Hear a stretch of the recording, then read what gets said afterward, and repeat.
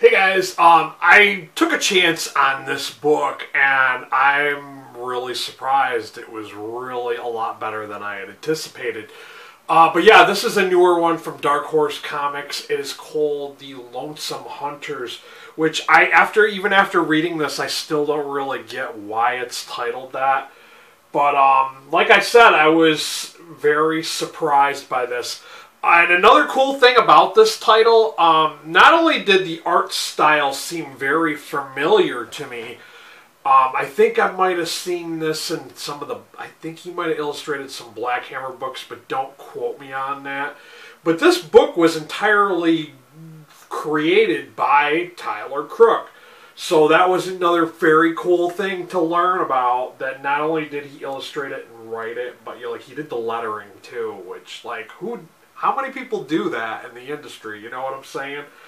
But anyways, this um, is about an old guy named Howard, and he it shows his origin story. I guess you could say like there's this church that he was involved with that they're like a keeper of artifacts, I guess, like magical artifacts. So he has this sword that's supposed to be a, an ancient sword that has like before humanity even existed, like this sword was around.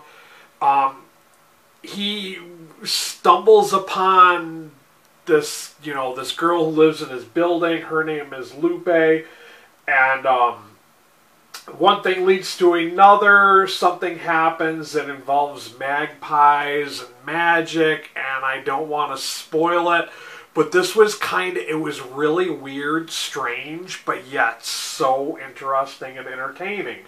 I, re- I really, I really enjoyed this, guys. I really liked it. I thought it was super good.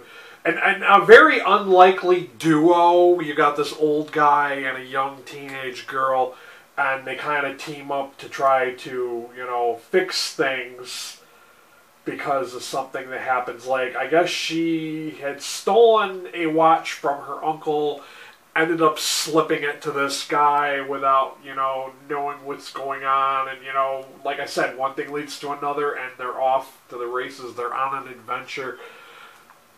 Yeah, I even this they they come upon this magpie queen, and yeah, that was even a really interesting kind of cool, like different kind of character. It's not what you would anticipate it being. And I love these little intro scenes, like at the start of new chapters. I guess these are like the beginnings of the separate issues or whatever. I thought that was very good as well. Um, I like the fact that it ended on a cliffhanger, which means that there's going to be more books in the series. Like I said, guys, if this gave me very, very strong Hellboy vibes, I kind of, I'm not 100% sure, but I'm feeling like this guy was influenced by Mike Mignola. It kind of, if you like Mike Mignola's kind of like his supernatural kind of stuff, I think you'll really enjoy this because this does have you know the it's to be something like magical kind of magical realism.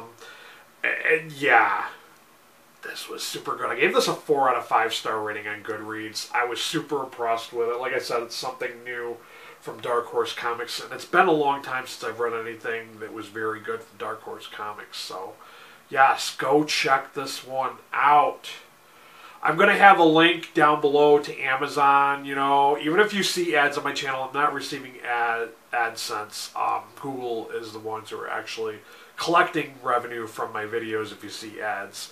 I don't get anything. That's why I have to do the affiliate links. So if you could please help me if you enjoyed this video, if you found it cool that I shared this with you and you're like, hey, I want to check that out, go ahead and do that by buying the book down below. Anything, even if you don't buy this book, if you buy something else like a jar of peanut butter or something like that, it helps out my channel.